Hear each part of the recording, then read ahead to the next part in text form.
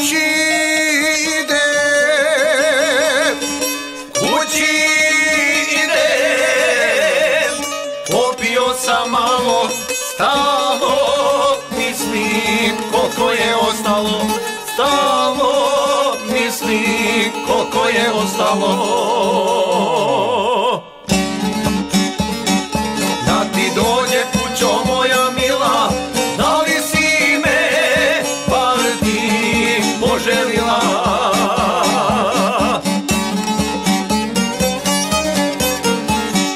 Nema braće, nema ni sestara Umro otac za njim majka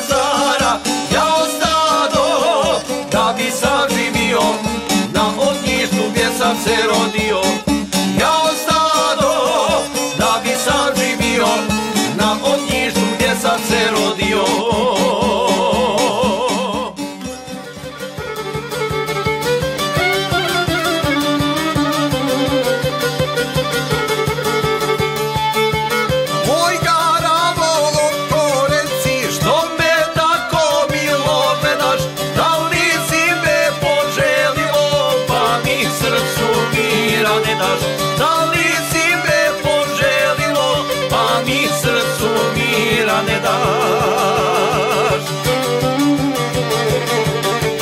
Ljepota me tvoja ludi svaki pogled drage meni. Uspomene vraćaju me lijepo mogu, lijepo ženi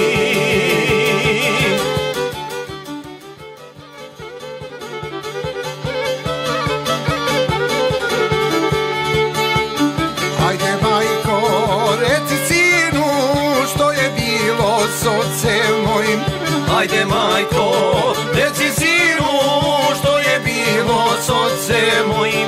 Da tu tajnu koju nosiš podijeliš sa sinom svojim. Da tu tajnu koju nosiš podijeliš sa sinom svojim.